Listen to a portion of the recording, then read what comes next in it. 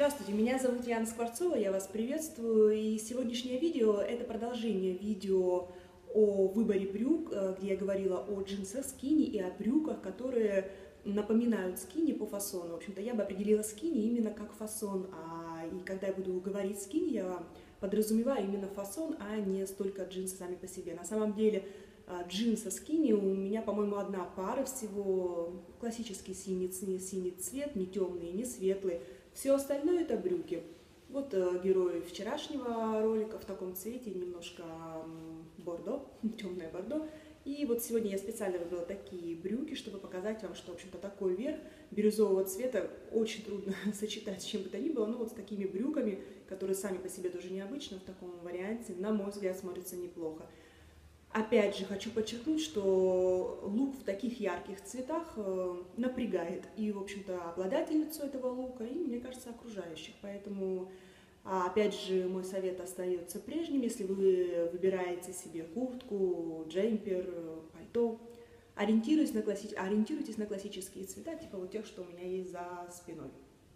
Бордо, коричневый, серый, все его вариации, теплый, холодный и так далее. Итак, мы остановились на том, что вы выбрали себе брюки, взяли, на, взяли ваш размер, взяли на размер меньше, пришли в примерочную, все это померили. Поприседали обязательно, чтобы понять, не спускаются ли они. Если все в порядке, спускаются, но не критично, как, в общем-то, любые брюки должны э, двигаться по телу во время движения. Мы их оплачиваем, берем домой и приходим домой, не срезаем этикетки, тестируем наши брюки второй раз – мы их надеваем и остаемся в них примерно на полчаса, делая совершенно разные, может быть, даже какие-то домашние дела, можно попить чаю, посмотреть телевизор, кому-то позвонить, посидеть, встать. И именно эти 30 минут позволят нам понять, э, удобно ли нам в размере, который мы выбрали, и как, в общем-то, сшиты скини, потому что скини не должны спускаться.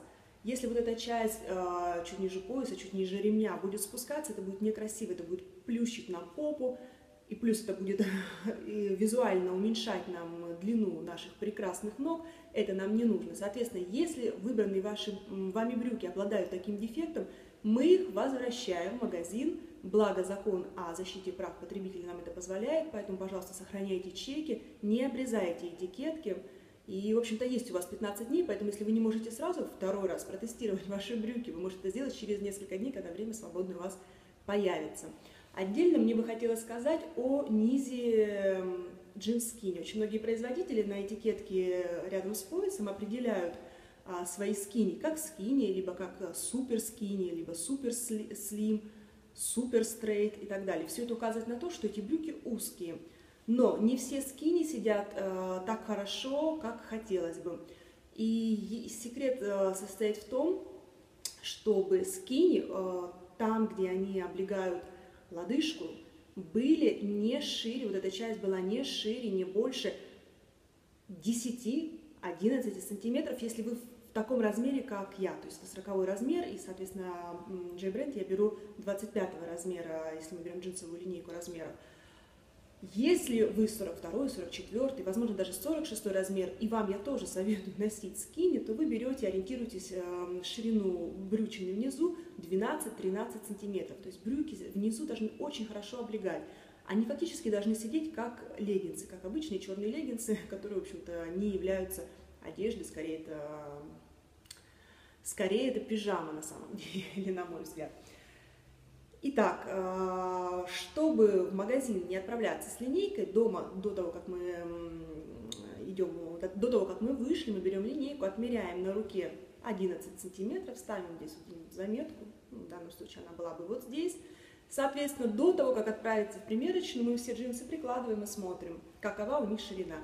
И я настоятельно вам рекомендую даже не примерять джинсы, которые будут шире. Возможно, они очень вам понравились, э, возможно, у них какая-то потертость, прекрасные, которую вы давно искали и мечтали о ней. Возможно, солнце. А, возможно, они того цвета, который вам очень давно хотелось э, приобрести. Я не советую их даже примерять, потому что соблазн их купить будет очень высок. Вам покажется, ну, сантиметр разницы, это не так много, не так э, важно, но именно при носке этот сантиметр э, ширины, э, лишний сантиметр ширины будет, в общем-то, портить вам лук, будет той деталью, которая с одной стороны незаметна, но с другой стороны вот как-то она незначительно допортит э, нам а, всю картину. И хотелось бы сказать еще также о длине брюк. Очень часто их приходится укорачивать, потому что производитель не знает, какого, какого роста будет его покупательница. Соответственно, он делает очень часто брюки длинные. А, это касается также мужских брюк. Очень часто и мужские брюки нуждаются в обрезании. Что я советую? Я советую просто взять ножницы, прекрасно это видно здесь на солнце, необработанный край, просто обрезать до той длины, которая вам нужна, учитывая, что брюки вы будете подворачивать. Я вам всегда советую подворачивать джинсы, джинсы и брюки узкие, а в общем-то и не узкие тоже, если это возможно. Соответственно, подвернув их, э, отсутствие шва позволит, э, позволит э, очень естественно смотреться такому, такому подвороту. И преимущество брюк скини, в общем-то, зачем мы подворачиваем? Во-первых, это придает некой расслабленности образу и, как следствие, актуальности образу. И очень красиво такой прием обнажает нам э, тонкую часть лодыжки. И даже если вы думаете, что лодыжка у вас не тонкая, все равно ее стоит обнажать.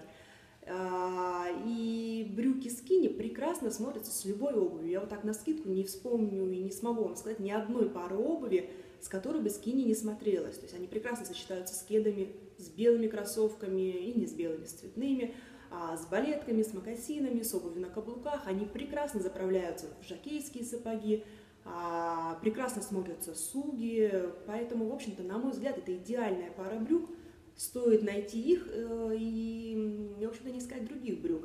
Если же ваша работа подразумевает строгий дресс-код, то, безусловно, брюки скини, даже в черной варианте, в черной ткани, вы не сможете носить на работу. Тогда нужно присмотреться к брюкам-дудочкам. Это самый близкий вариант к скини. Соответственно, вы будете э, хорошо выглядеть, и дресс-код будет соблюден. Ну, в общем-то, это все, что я хотела сказать в своем продолжении о брюках. Э, всем хорошего дня, хороших брюк хорошего настроения, выглядите красиво.